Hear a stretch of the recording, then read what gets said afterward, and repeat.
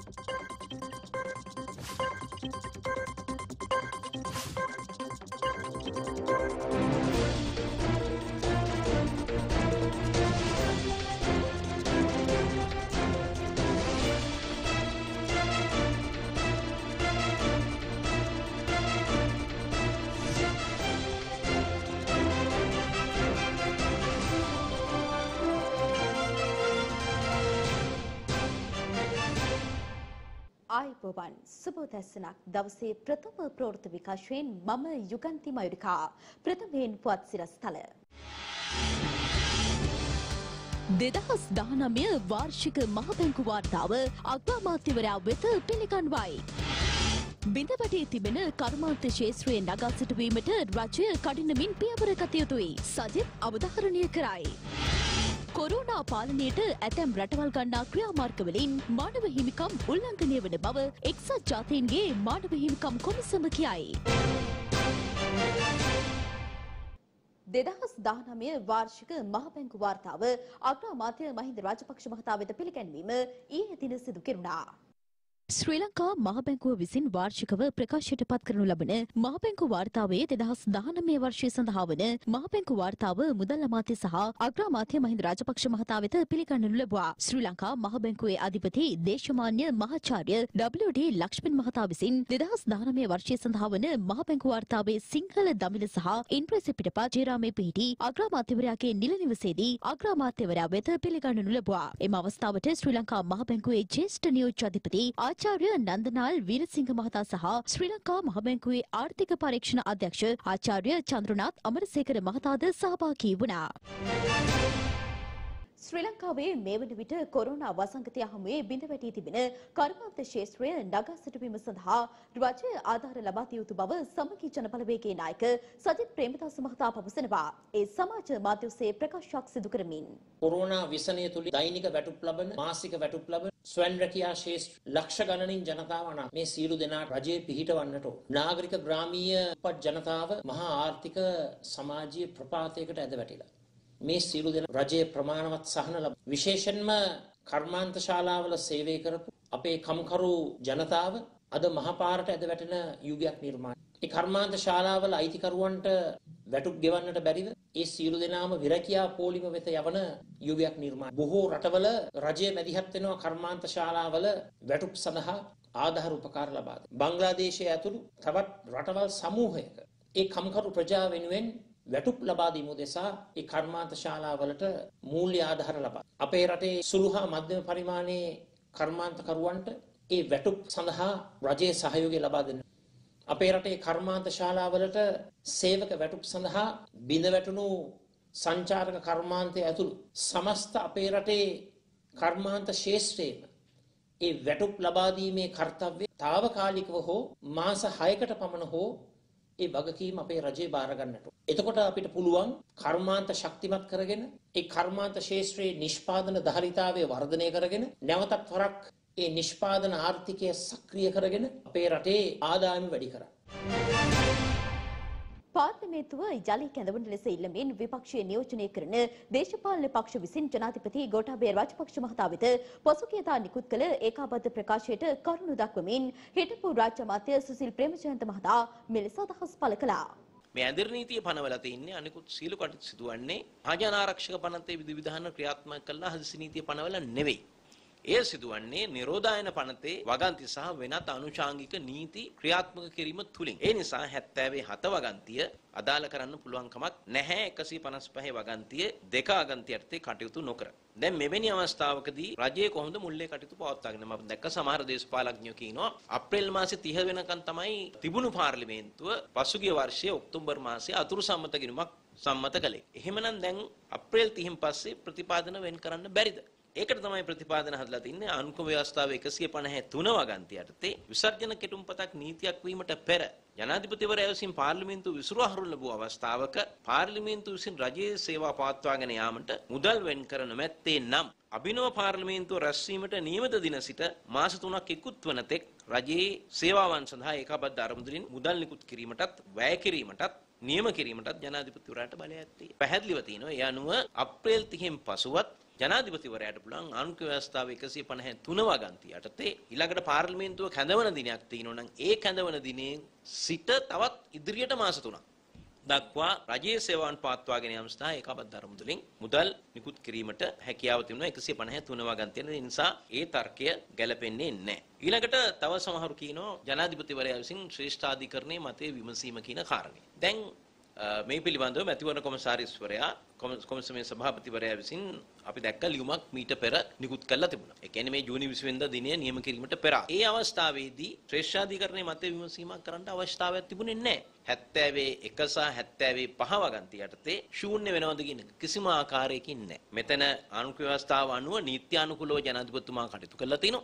ප්‍රායකව මැතිවරණය පැවැත්වීමට නොහැකි තත්ත්වයක් මතුවලා තිබෙන නිසා මැතිවරණ කොමසමේ වගකීම තමයි ප්‍රකාශය නිකුත් කළයන් පස්සේ මැතිවරණය පැවැත්වීම. එතකොට ජනාධිපතිතුමාගේ කාර්යභාරය අවසానයි 71 සහ 75 යටතේ ප්‍රකාශය නිකුත් කිරීමෙන් පසුව. එතකොට මැතිවරණ කොමසාරිස්වරයාට ලැබුණ බලය අනුව තමයි එතුමා 24 3 වගන්ති යටතේ මැතිවරණය ජූනි 20 වෙනිදා දක්වා කල් තබලා තියෙන්නේ. කොවිD-19 වෛරසය මර්ධනය කිරීමට පළාත් වශයෙන් පරීක්ෂණ මධ්‍යස්ථාන කඩිනමින් ආරම්භ කිරීමට කටයුතු කරන ලෙස හිටපු පාර්ලිමේන්තු මන්ත්‍රී ලක්ෂ්මන් කිරියල්ල මහතා රජයේ නිල්ලීමක් කර සිටිනවා.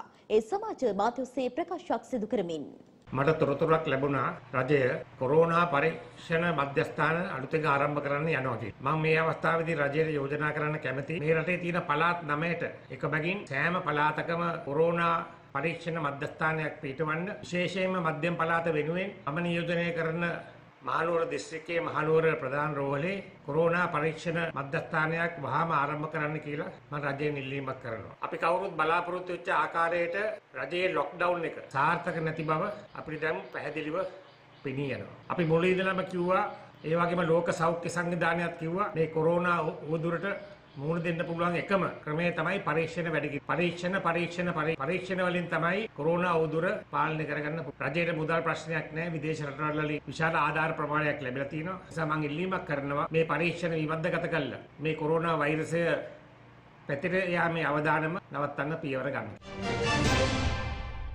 සාමාන්‍ය පෙළ විභාගයේ පාසල් ප්‍රතිඵල ලේඛන ඊයේ දින සිට ඔන්ලයින් ක්‍රමයට ලබා දීම ආරම්භ වුණා. ඒ අමාත්‍ය ඩලස් අලහපෙරුම මහතාගේ ප්‍රධානත්වයෙන් ශ්‍රී ලංකා විභාග දෙපාර්තමේන්තුවේ නිල වෙබ් අඩවිය වන www.donets.lk වෙත පිවිසීමෙන් සිසුන්ට තම ප්‍රතිඵල පෞද්ගලිකව ලබා ගැනීමට අවස්ථාව සැලසෙන අතර සියලු පළාත් සහ කලාප අධ්‍යාපන අධ්‍යක්ෂකවරුන් වෙත මීට පෙර අවස්ථාවලදී තැපැල් මගින් ලැබුණු පාසල් විභාග ප්‍රතිඵල ලේඛන අද සිට ඉහත වෙබ් අඩවියෙන් භාගත කර ගැනීමේ අවස්ථාවද ලබා දී තිබෙනවා. ඒ අනුව උද්ගත වැති තත්ත්ව සැලකිල්ලටගෙන සෞඛ්‍ය හා දේශීය වෛද්‍ය සේවා අමාත්‍යාංශයේ උපදෙස් වලට අනුකූලව මෙවර සාමාන්‍ය පෙළ විභාගයේදී ප්‍රතිඵල සහිත පාසල් ලේඛන ඔන්ලයින් ක්‍රමයට ලබාදීමට අධ්‍යාපන අමාත්‍යංශය විසින් විභාග දෙපාර්තමේන්තුවට උපදෙස් ලබා දී ඇති අතර සියලු පළාත් සහ කලාප අධ්‍යාපන අධ්‍යක්ෂකවරුන් වෙත ඊට අදාළ පරිශීලක පද සහ මුර පද ලබා දීමේ සමාරම්භක අවස්ථාව අධ්‍යාපන ක්‍රීඩා හා තරුණ කටයුතු අමාත්‍ය ඩලස් අලහප්පෙරුම් මහතාගේ ප්‍රධානත්වයෙන් විභාග දෙපාර්තමේන්තුවේදී සිදු වුණා. ප්‍රතිඵල තැටිය සහ ප්‍රවේශ අංකයන් මේ අවස්ථාවේදී ලබා දුන්නා. ශ්‍රී ලාංකීය අධ්‍යාපන වංශකතාවේ ඉතා දැවැන්ත පියවරකටයි අද අපි මේ පා තබලා තියෙන්නේ. විශේෂයෙන් අපි e-learning ගැන දුරස්ථ අධ්‍යාපනය ගැන විශාල සංවාදයක් ලෝකේ ඇති වෙලා තියෙන වෙලාවක ඔබ තේරුම් අරගෙන තියෙනවා e-education කියන කාරණේ ඉෂ්ට කරන්න නම් ඊට සඳහා අවශ්‍ය platform එක තියෙන්නට ඕනි කියලා. යටිතල පහසුකම් තියෙන්නට ඕනි කියලා. digital platform එක තමයි ඔබ මේ හදන්නේ. digital යටිතල පහසුකම් තමයි ඔබ මේ නිර්මාණය කරන්නේ. අපි මෙතෙක් කලක් රටක් විදිහට පුරුදු වෙලා තිබුණේ ගොඩනැගිලි හදන්න. ඉස්කෝලේට ශ්‍රවණාගාරයක් දෙන්න. එහෙම නැත්නම් ස්විමින් pool එක දෙන්න. හොස්ටල් එක හදන්න. අහස උසට තට්ටු තට්ටු තරඟට ගොඩනැගිලි හදලා දෙන්න. හැබැයි 21 වෙනි සතවර්ෂයේ තුන්වෙනි දශකයට ප්‍රවේශලා ඉන්න අපි අද රටක් විදියට රාජ්‍ය නායකයාගේ දර්ශනය ඉතාම මැනවින් ප්‍රගුණ කරන වෙලාවක අවධාරණය කරන වෙලාවක විභාග දෙපාර්තමේන්තුව අපි අධ්‍යාපන අමාත්‍යාංශය විදියට සතුටුත් වෙනවා. තමනාසලා ඒ ඩිජිටල් යටිතල පහසුකම් ඒ ඩිජිටල් වේදිකාව ජාතියට සපයන්න ඉදිරිපත් වීම පිළිබඳව. ජනතාව පීඩාවට පත්ව තිබෙන අවස්ථාවක විපක්ෂයේ කාර්යභාරය විය යුත්තේ පටු දේශපාලන අරමුණු ඉටු කර ගැනීමට උත්සාහ දැරීම නොව රජයට සහාය දැක්වීම බව හිටපු පාර්ලිමේන්තු මන්ත්‍රී පියල් නිශාන්ත මහතා පවසනවා. ඒ කළුතර ප්‍රදේශයේදී මතපෙත අදහස් පළ කරමින් මේ වගේ විපක්ෂයක් හැටියට මෙවැනි දැවන්ත විපතක් වෙච්ච අවස්ථාවකදී රටකට ඒ විපක්ෂයේ කාර්යභාරය සාම්ප්‍රදායික විපක්ෂයේ කාර්යභාරයක් හැටියට ක්‍රියාත්මක කිරීම නෙවෙයි. එතකොට ඒ විපක්ෂයේ කාර්යභාරය හැම පුජ්‍යලයකුගේම හැම දේශපාලන පක්ෂයකගම යුතුයකම තමයි පවතින රජයට මේ ජනතාව අසරණ වෙලා තියෙන අවස්ථාවකදී මේ වෛරසයත් එක්ක ජනතාව දැවන්ත පීඩනයකට ලක් වෙලා තියෙන අවස්ථාවකදී ඔවුන්ගේ සහයෝගය ලබා දීම. ඉතිහාසයේ මෙතෙක් මම අහලත් නෑ මම දැකලත් නෑ මේ වගේ විපක්ෂයක් අ, විශේෂයෙන්ම මේ වගේ කරදරයකදී මේ අ, කකුලෙන් අදිනෝ එහෙම නැත්නම් තමන්ගේ දේශපාලන පටු අරමුණු අ, පරමාර්ථ ඉටු කරගන්න යන දේශපාලන විපක්ෂයක් මගේ ඉතිහාසයෙන් මම අහලා නැහැ. ඒක නිසා අද ක්‍රියාත්මක වෙන්නේ පැහැදිලිවම මෙන්න මේ සාම්ප්‍රදායික විපක්ෂයේ විපක්ෂයේ දේශපාලඥයින්ගේ කාර්යභාරය තමයි මේ සිද්ධ වෙන්නේ. ඒක නිසා අපි කියන්නේ මේ විපක්ෂයේ ඉන්න අයට මීට වඩා ටිකක් එළියට ඇවිල්ලා මේ රට ඒ වගේම ලෝකයේ තියෙන වර්තමාන තත්ත්වය පිළිබඳව ඒ වගේ මේ රටේ අහිංසක සහ ලෝකයේ ඉන්න ජනතාවත් එක්ක සංසන්දනය කරලා Tamanට දෙන්න පුළුවන් මේ මිනිසුන්ගේ ජීවිතවල වටිනාකම තේරුම් අරගෙන යම් කාර්යභාරයක් ඉටු කරන්න කියන එක තමයි අපි පැහැදිලිවම කියන්නේ. ලොව පුරා ව්‍යාප්ත වෙමින් පවතින වසංගත තත්ත්වයේ පාලනයට ඇතැම් රටවල් ක්‍රියාත්මක කරනු ලබන නීති රීති හරහා මානව හිමිකම් උල්ලංඝනය වීමේ අවධානමක් පවතින බව එක්සත් ජාතීන්ගේ මානව හිමිකම් කොමිසම පවසනවා.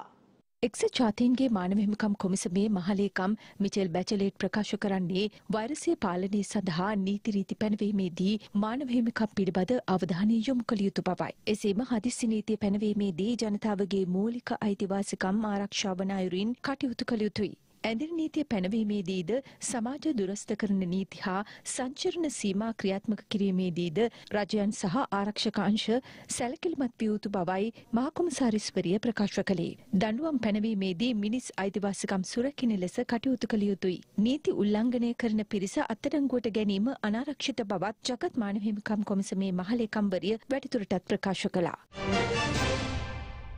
ඒත් සමගින් අපගේ උදැසන ප්‍රවෘත්ති විකාශයමින් නිමාවට පත්වනවා. යළිත් හමුවෙමු මධ්‍යහන ප්‍රවෘත්ති විකාශයත් සමගින් ඔබට සුබ දවසක්.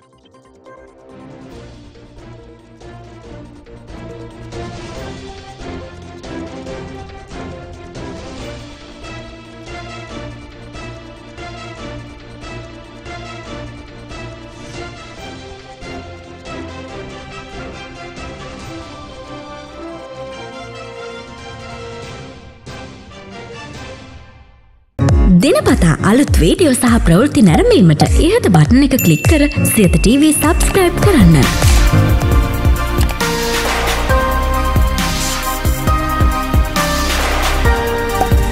අලුත් වීඩියෝ ගැන මුලින්ම දැනගන්න මෙම සීනුව ක්ලික් කරන්න.